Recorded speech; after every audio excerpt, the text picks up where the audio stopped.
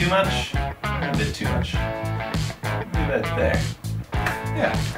All right. How's it going, everyone? You want to learn how you can get a 16 by 9 anamorphic image out of your Sony camera? Let's find out. So here's what we're going to do. We're to film in full frame mode. What that means is that you're to have this really harsh vignetting all around the frame where the APS-C lens isn't actually projecting beyond that APS-C zone on a full frame sensor. But that's fine.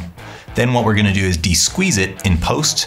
Now you can do this a number of ways. You can do it by setting a sequence at a 1.33 times aspect ratio if you want to, or a pixel aspect ratio, I should say. But I actually prefer doing it in the effects control window. I declick the uniform scale so that I can control my scale width and height independently. And then I change the scale height from 100% down to 75.2% which is essentially a 1.33 times division on 100%. That will give me a 240 cinema aspect ratio or nearly a 240 cinema aspect ratio, which will give me an accurate de-squeezing of this anamorphic footage. Then the next step is to add the transform effect, which you'll find under distort in Premiere Pro's effects panel. And then in the transform effect, you're going to use the scale, which is going to scale it uniformly, so height and width together. And scale that up and just keep scaling that up roughly to about 150% until the black bars have left the screen.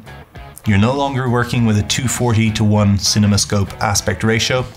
You should now be on an anamorphic 16 by 9 aspect ratio, which will only incur a slight loss in quality and in fact won't incur any loss in quality if you're shooting in 4K and downsampling to 1080 for a deliverable. And that right there is a quick tutorial on how you can get a 16 by 9 1.33 times anamorphic image from your Sony camera using a anamorphic lens like one of these Sirui lenses.